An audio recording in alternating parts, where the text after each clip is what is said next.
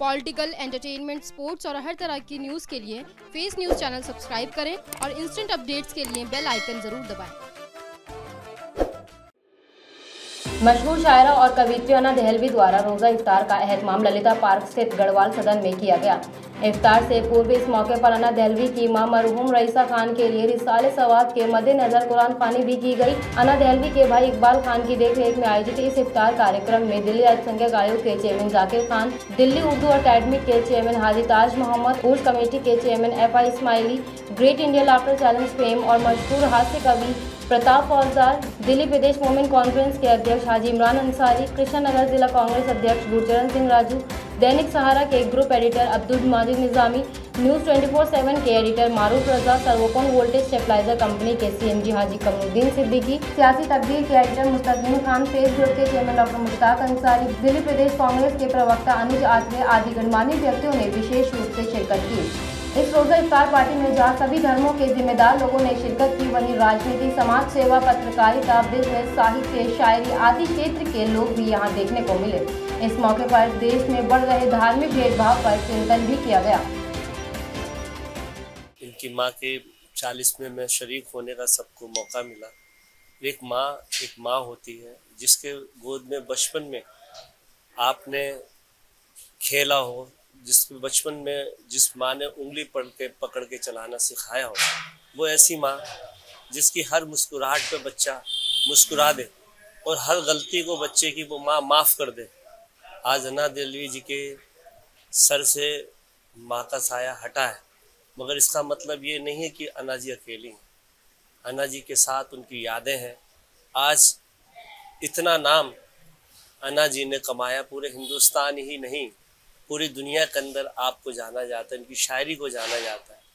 उनके अंदर भी वही जो उनकी माँ के अंदर बहुत मिलनसारी थी, लोगों से मिलना, हंसमुख होना और बहुत अच्छी अच्छी बातें करनी, वही अन्ना जी के अंदर वही शिफ्ट नज़र आती है, वो माँ का प्यार, वो माँ का दर्द जो अन्ना जी के अंदर देखने को मिलता है, वो तरबियत है उनकी माँ की, कि जो इतनी ऊंचाइयों तक, इतनी बुलंदी तक का अना दहलवी जी को पहुँचाया है। मैं अल्लाह से दुआ करता हूँ इनकी माँ को जन्नत अता फरमाए। और जो आज हम सब शरीक हुए हैं इस महफिल के अंदर, जहाँ इनकी माँ को याद किया गया, और सबने दुआ की, और अफ्तार भी हम लोगों ने किया, खाना भी खाया, हम सब दिल से दुआ करते हैं कि अना जी के साथ में हमेशा उनकी माँ का प्यार रहे, उनकी जो उन्होंने सिखाया अना जी अना जी वही अपने आने वाली पीढ़ी को भी और हम सबको भी सिखाया हमारी भी मुलाकात रही अना जी की माँ के साथ में, मिलना जुआ आज भी यादें हमारे साथ हैं और मैं अल्लाह से दुआ करूँगा उनको जन्नत के अंदर आला सल्ला मुकाम अता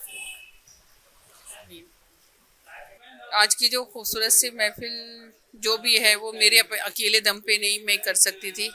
इसमें मेरे भाई का, मेरे घर वालों का ख़ास तौर पे मेरे, जो मुझे बहन बोलते हैं मुश्ताक डॉक्टर मुश्ताक भाई या उनकी फैमिली उनका रोल ना होता तो ये महफिल में सही से अरेंज भी नहीं कर पाती। और उन सब का साथ मिला तो मैंने ये महफिल रखी है और ये मैं ये तो नहीं कहूँगी कि बहुत खुशी का मौका है मगर हाँ अलविदा जुमा भी था और आज अवतार भी था।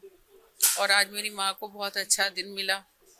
उनका चालीसवा था।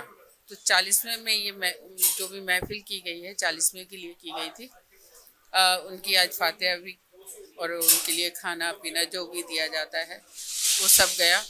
और मुझे जिसकी उम्मीद भी नहीं थी, आज इतनी महफिल में मेरे, मैं तो सोच रही थी पचास साठ लोग अलविदा जुम्मे की वजह से या कुछ और भी बहुत सारे प्रोग्राम हैं, लोग बढ़ जाएँगे इधर उधर चले जाएँगे। मगर मुझे नहीं उम्मीद थी कि इतने सारे लोग आ जाएँगे। मैं तो पचास सौ भी नहीं समझ रही थी, मगर आज तो मेरे ख्याल में ढाई तीन सौ लोग तो आराम से आके गए हैं।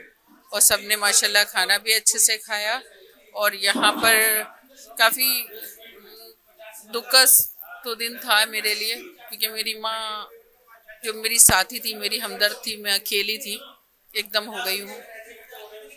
वो मेरे साथ रहती थी तो मुझे लगता था कि मैं, मेरा कोई है दुनिया में, मगर अब ऐसा लगता है एकदम अकेली हो गई हूँ। मगर आज बहुत सारे लोगों ने जब साथ दिया तो मुझे लगा कि नहीं, मैं अकेली नहीं हूँ दुनिया में। मेरी माँ की दुआएँ अभी भी मेरे साथ है, सबका साथ है मेरे साथ।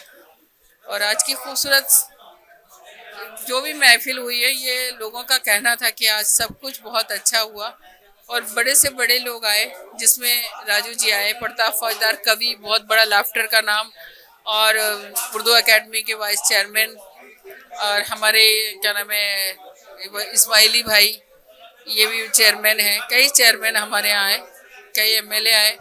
तो मैं सबकी बहुत बहुत शुक्रगुजार हूँ कि उन्होंने मेरी इस ताज़ियत में ख़ासतौर पे मेरी माँ की जो चालीसवा था उसमें आकर मेरे ऊपर बड़ा एहसान किया है। ये तो मेरे लिए फ़ख्र की बात है।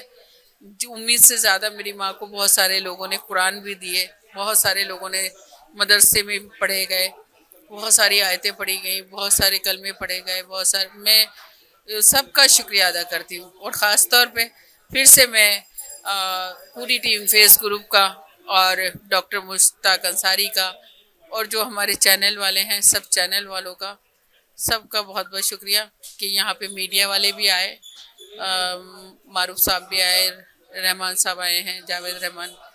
तो मेरे लिए बड़ी बात है कि मैं जिसके लिए सोच भी नहीं सकती थी, वो चाहे छोटा हो या बड़ा हो, मेरे लिए बाईस फ़ख्र है और मैं सबकी सबकी शुक्रगुजार हूँ, सबका शुक्रिया अदा करती हूँ।